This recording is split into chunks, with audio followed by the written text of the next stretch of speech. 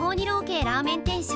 Google マップの口コミにブチギレ返信。さすが二郎系。ラーメン屋ほんま怖い。ラーメン屋って無駄にプライドや意識高かったり。面倒くさいの多いな。ネットさせたらいけない人間っているよな。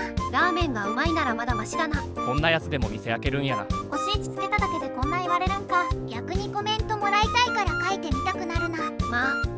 何か言うと反撃されると分からせるのは必要。ワイの近所のラーメン屋も低評価にオーナーが返信しよるは店ではにこやかなのにネットでは攻撃的なの見たくなかった高評価にもこれはマジで救いようがない。誰にでも喧嘩売るスタイルなのか宝島になるぞ。人間性の良さが売りらしい。返信の内容も結構ブレ幅があるので触れてはいけない世界線の方かもしれない。まあ一つけるやつなんて店側と揉めたか頭のおかしいやつしかいないけどそれにこういう反応するのもまたあれ。